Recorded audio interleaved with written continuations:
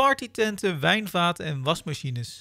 Al deze spullen en nog veel meer stonden vanmiddag in een loods aan de Galvaniestraat. Daar was een kijkdag waarbij de inboedel van evenementenbureau Rien van Halen werd tentoongesteld. Het is natuurlijk een, een dubbele dag voor me. Eh, Er zijn zoveel dingen aan, aan alle artikelen die hier staan en liggen. Ja, daar zit een verhaal. En ik ben natuurlijk begonnen met, eh, met helemaal niks. En 30 jaar geleden op de, eh, op de, op de zolder, dat was het eerste stukje van het eh, organisatiebureau. En dan ga je uitbreiden, is een stukje een podiumwagen erbij, je koopt een tribune nog erbij. Je, maar in ieder artikel komt dus een verhaal te hangen, hoe je het gedaan hebt. En eh, zo hebben we langzamerhand eh, de boel opgebouwd. Het bedrijf van Van Halen werd een aantal weken geleden failliet verklaard. Rien moest noodgedwongen afstand doen van zijn passie. Toch kijkt hij met een tevreden gevoel terug op zijn bedrijf.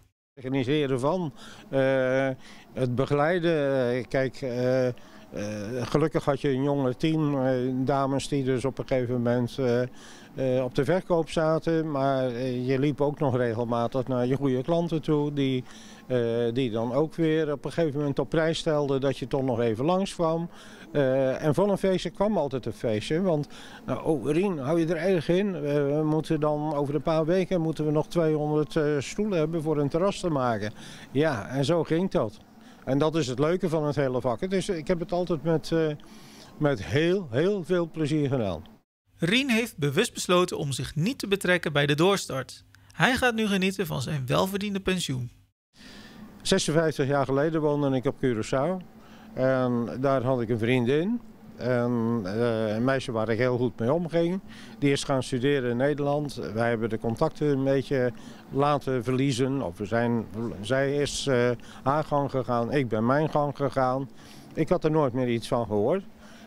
En nou gaan we toch zoeken op Facebook. En eh, daar kwamen ze tegen. En toen was het een, een kwestie van even een boodschapje sturen van... joh, Al, als je het leuk vindt, eh, geef me je telefoonnummer, dan bel ik je een keer op. Kunnen we misschien eens een keer bijpraten. Niet wetend dat er dus op een gegeven moment een nieuwe liefde achter weer zat. En dat we op dit moment weer super gelukkig met elkaar zijn. Vandaar dat we beide op een gegeven moment, eh, ik denk dat we wel aardig bij elkaar passen. En we zullen zeker samen, zowel in Nederland als in Curaçao, eh, van elkaar kunnen genieten. En eh, ja, de familie toch regelmatig zien.